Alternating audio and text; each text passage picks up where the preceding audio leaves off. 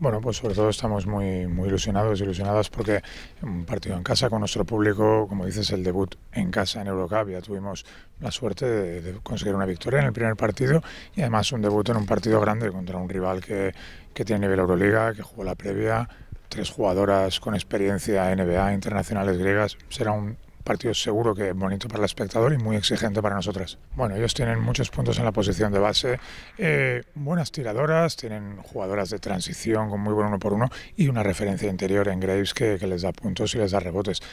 Pero como siempre nosotros pensamos en el conjunto y si nuestra fortaleza también es la defensa colectiva, no podemos descuidar a un equipo como Olympiacos a toda su rotación, ya que tienen una, una plantilla muy compensada. Es que Olympiacos, aparte de ser yo creo el rival a batir en el grupo, es uno de los equipos importantes en la competición, entonces pues para nosotros un, un estreno a lo grande y, y como tú dices, sí, tras los resultados del primer día se puede pensar en el liderato del grupo.